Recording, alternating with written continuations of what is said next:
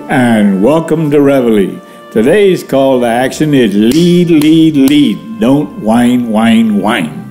Part 1. Do you know the difference between leading and whining? I'll give you an easy example of a whiner Donald Trump.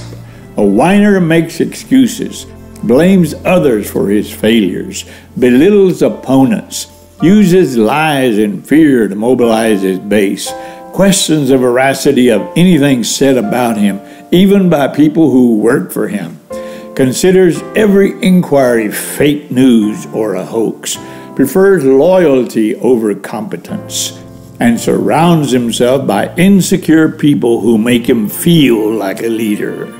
What we need is a leader who knows he's a leader and knows how to lead. Unfortunately, we don't.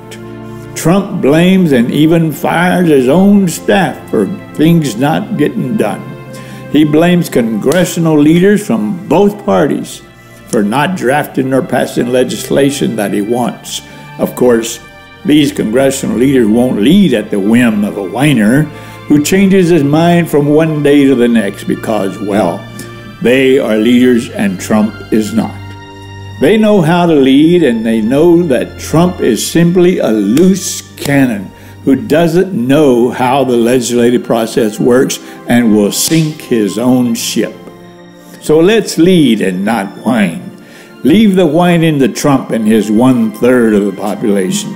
Let's take control of our own destiny and lead. Let's take ownership of our government.